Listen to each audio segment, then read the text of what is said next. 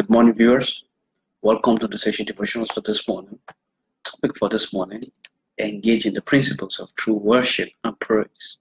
Topic one more time engage in the principles of true worship and praise. On that series, how to walk in jubilations and celebrations as a lifestyle. Host my humble self, Luka K. Text taken from the book of Psalm chapter 67 from verse 3 down to 7. But let's pray before we begin. Father, we thank you for the breath in our nostrils. Father, we've come to hear from you this morning. We ask, speak to us and grant us understanding. Your word said in Psalm 119, verse 105, thy word is a light to our feet and a lamp to our path. Father, let your word light our feet to greatness, even this moment, in Jesus' name. For in Jesus' name we pray. Topic one more time engage in the principles of true worship and praise under the series How to Work in Jubilations and Celebrations as a Lifestyle. Host Luka K text taken book of Psalm 67 from verse 3 down to 7 narrate from verse 3 let the people praise thee o god let all the people praise thee. O let the nations be glad and sing for joy for thou shalt judge the people righteously and govern the nations upon earth. And in verse 5 let the people praise thee. You can say let the people worship thee o lord. Let all the people praise thee. He said then the earth in verse 6 shall ye our increase and god even our own god shall bless us. And in verse 7, the last verse said, God shall bless us, and all the ends of the earth shall fear him. May the Lord bless his word and grant us understanding in Jesus' name. For that reading, Second Chronicles chapter 20, from verse 1 to 25, said it came to pass after after this also the children of Moab and the children of Ammon, and with them other side the Ammonites came against Jehoshaphat and Judah to battle.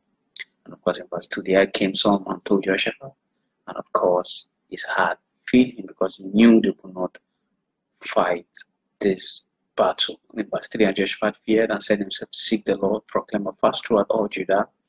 And verse 4, the Judah gathered themselves together to ask help of the Lord.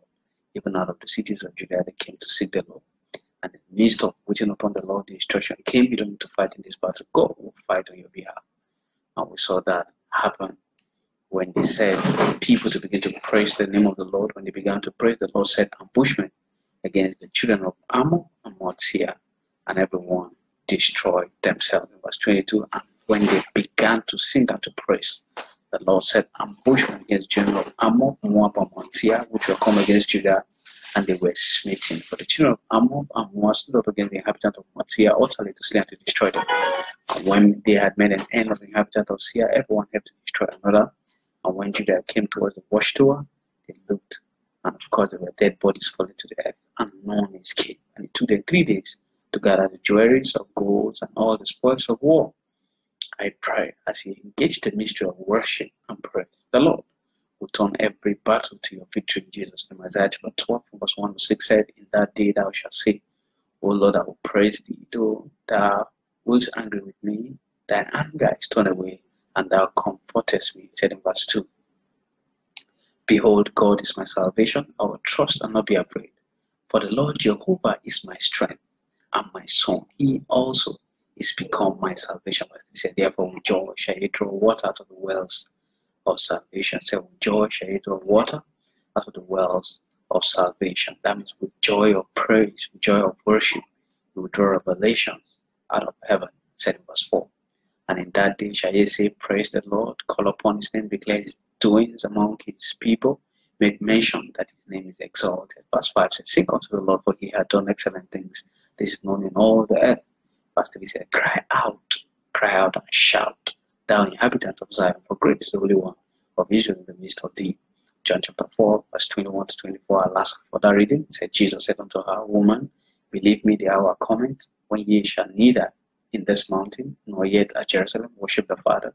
Verse 22 said, Ye worship, ye know not what.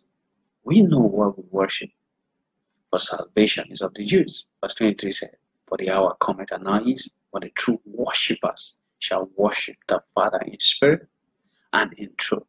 For the Father seeketh such to worship him. God is a spirit in verse 24, and they that worship him must worship him in spirit and in truth. Lord grant you understanding of the subject in Jesus' name. Topic one more time engaging the principles of true worship and praise. One of the series how to walk in jubilations and celebrations as a lifestyle. Host Luka K text Psalm 67, 3 to 7. We'll read that for that in Second Chronicles chapter 20 from 1 to 25. We'll see the story of Judah and Jehoshaphat there and Isaiah chapter 12 1 to 6 and John chapter 4, 21 to 24. Jesus and the adulterous woman that Jesus forgave her all her sins. Please at your leisure time can read these scriptures again. I'm sure you'll be blessed in Jesus' name. Thinking cap. True worship throws all bodies off and leads to endless celebrations. I take that again. True worship throws all burdens off and leads to endless celebrations. Think about it. Today we'll look at a topic engaging the principles of true worship and praise on that teaching series on how to work in jubilations and celebrations as a lifestyle. By introduction, let's know that the act of true worship and praise to God is an act of adoring God's supremacy and dominion. Our God is an indescribable divine supernatural being that every creature bows to. In fact, even the devil bows in adoration to God. So anytime we heartily worship and praise God, we are simply adoring and magnifying His supremacy and person, and He's happy with us. Beloved,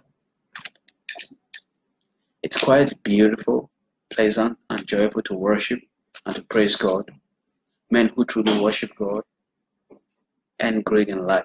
Think of Abraham, our father, think of David, think of Solomon, among many. They ended up as great men because they are true worshippers and true praisers of God. Of course, in Genesis chapter 22, from verse 1 to 18, you can read the story of our father Abraham, how he went to worship the Lord with his son.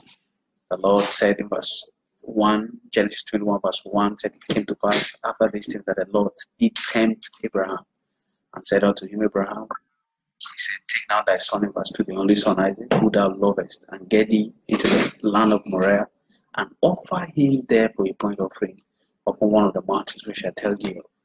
And of course, this is a child he waited for 75 years to get. And of course, he took the child and went out to the mountain to go and slay the child. The angel of the Lord calling said, Don't hurt that child. In verse 10, and Abraham stretched forth his hand and took the knife to slay his son. And the angel called out of heaven and said, Don't lay hands on the child now, I know that fearest me. And he called again a second time and said, By myself have I sworn, said the Lord. In verse 16, For because I have done this thing, I have not withheld thy son, the only son, that in blessing, verse 17, I'll bless thee and multiplying. I will multiply thy seed as the stars of heaven, and as the sand which is upon the seashore, and thy seed shall possess the gates of his enemies, said in verse 18 and in thy seed shall all the nations of the earth be blessed because I have obeyed my voice. Another testimony, First Chronicles chapter 29, verse 20 down to 28, talking about David. We saw him worship the Lord, and David said to all the congregation, Now bless the Lord your God, and all the congregation bless the God of their fathers, and bow down their head and worship the Lord and the King. And they sacrificed sacrifices unto the Lord in verse 21 and offer burnt offerings unto the Lord.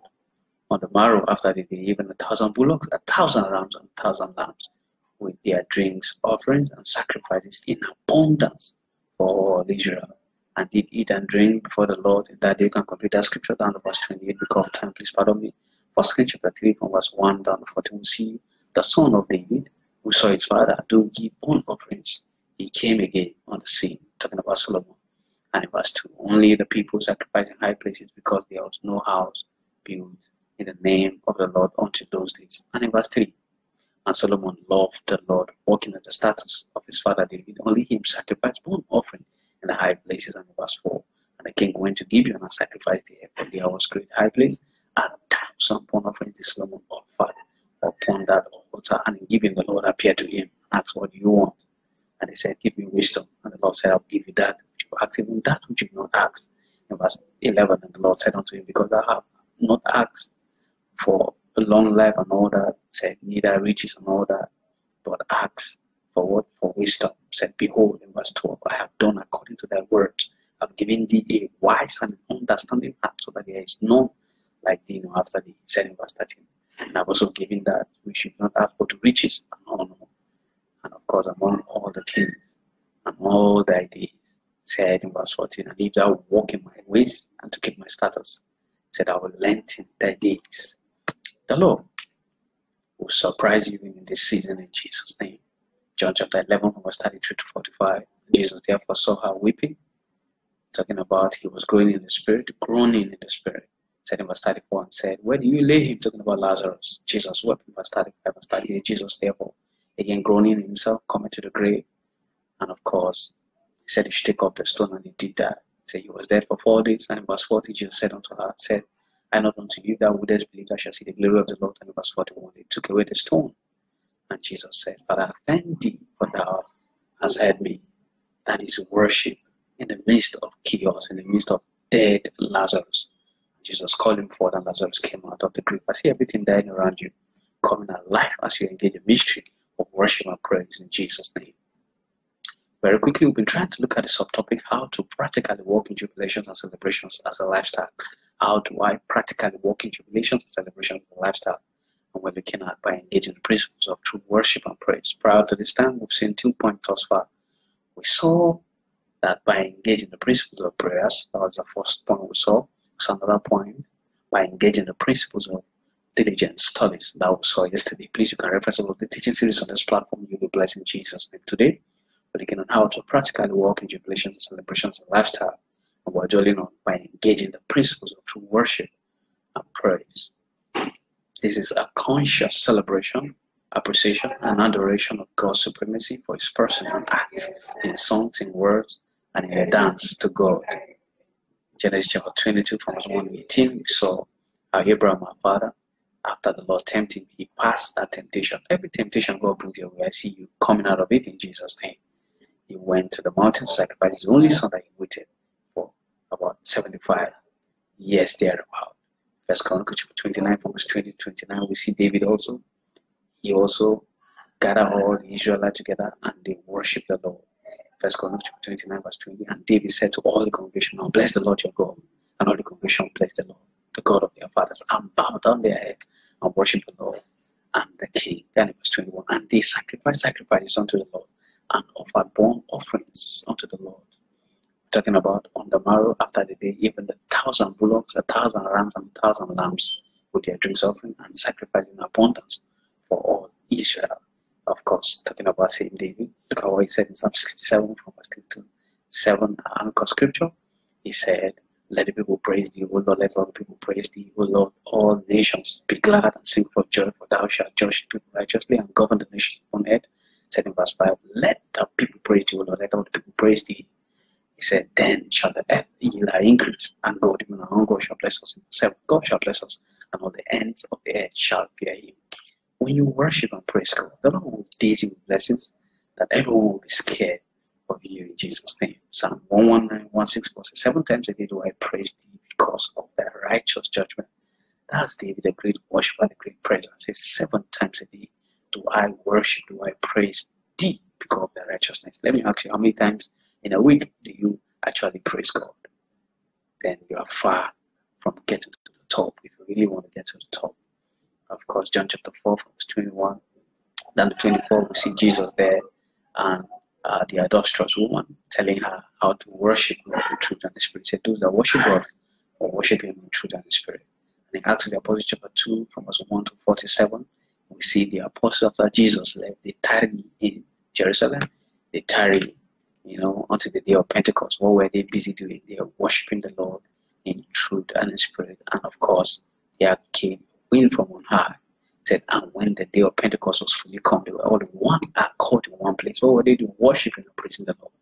And suddenly there came a sound from heaven as a rushing mighty wind, and could fill the house, and there was clothing of tongues like a fire sat on every one of them, and they began to speak with tongues.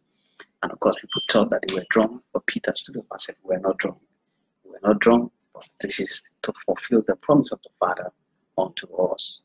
And of course, he said, at the end of his speech, everyone came to give his life to Christ.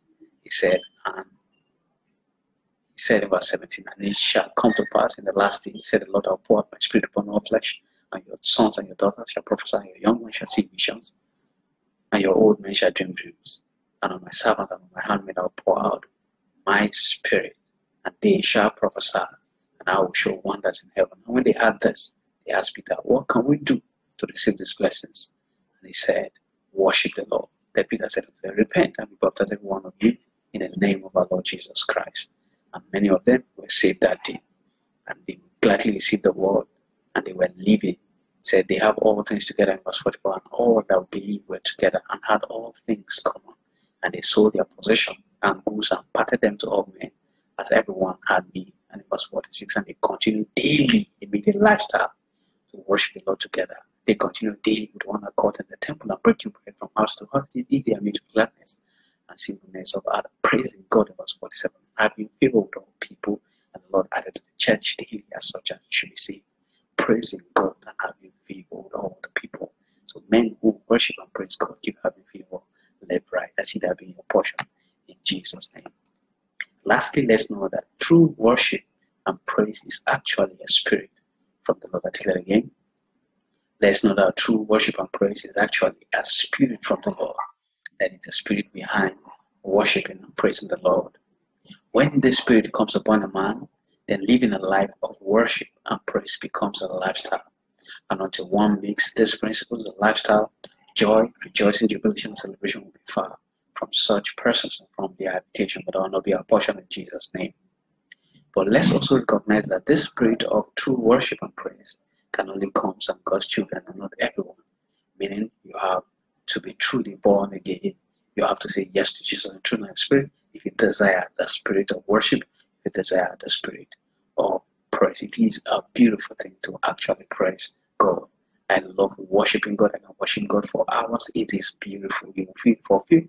You will feel that's the most exciting thing upon the surface of the earth. The Lord will grant you understanding in Jesus' name. Isaiah 61, verse 1 to 4 said, The Spirit of God is upon me because He have anointed me to preach good tidings to the meek.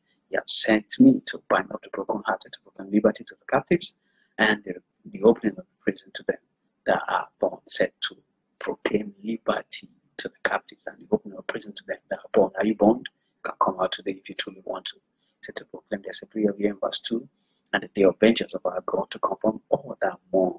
So it is the spirit that take away every burden of mourning, said in verse 3 to appoint unto them that mourn in Zion to give unto them beautiful ashes, the oil of joy for mourning, the garment of praise for the spirit of heaviness, that they might be called the trees of righteousness, the planting of our God, that he might be glorified, said in verse 4 and they shall build old ways. They shall raise up former desolations, and they shall repair the waste cities, desolation of many generations. Of course, Second Corinthians chapter 5, verse 11, when being Christ, all things are passed away, all things have become new. You want a new life, a new level of worship, a new level of praise. Don't forget Hebrews 2 1 3. 3 said, How can we escape from the grace of great salvation? So you cannot escape uh, the boredom and the evil and the bitterness and the agony of the earth if you are not saved in Christ you want to say yes to Jesus, I want to pray with you this morning. Truly want to say yes to Jesus, bow ahead. Repeat this prayer after me. Jesus, I come to you this morning and I'm a sinner, forgive my sins. And you come to this morning, I say you died on the third day you rose from my freedom. Right now, Jesus, forgive all my sins. Wash me with your blood. Write me in the book of life. Grant me a new life. Grant me a life of worship. Grant me a life of perpetual praise to you. For in Jesus' name I pray. Amen. We take two prayers and shut down first prayer, Father. Anoint me with that garment of worship and praise in Jesus' name. Psalm 61, verse 3 said, To appoint unto them that, that mountain Zion to give up to them beautiful ashes, the oil of joy for morning, that garment of praise for the spirit of heaviness, that they might be called the trees of righteousness, the planting of God, that he might be glorified. The Lord will glorify himself in your life in Jesus' name. Join me, let's take this prayer of worship and praise in the name of Jesus. This is my petition this morning. Anoint me, Abba Father, with the garment of worship and praise as a lifestyle. Thank you for hearing me for Jesus. And we pray that prayer, Father, teach, Father, teach the saints in Nigeria and Africa the mystery and the power of worship and praise in Jesus' name. Psalm 119 verse 164, David said, Seven times a day do I praise thee because of that righteous judgment. And we see a great king that David turned out to be. He also had a son that succeeded him upon his throne, talking about Solomon. If only the saints can know the power behind worship and praise, believing he will live a glorious, triumphant life. Join let's pray this prayer, Father. Teach the saints in Nigeria and Africa the mystery and the power of worship and praise. In the name of Jesus, this is our petition this morning, help God. Teach our saint, teach the saints in Nigeria and Africa the mystery and the power of worship and praise. Thank you for hearing us. Jesus' name we pray. Join this prayer, share this gospel I will bless you tomorrow. I pray that this day will be a day of good news. You're going to receive phone call of good news here and there in Jesus. And God bless you. Thank you for your time. The Lord reward.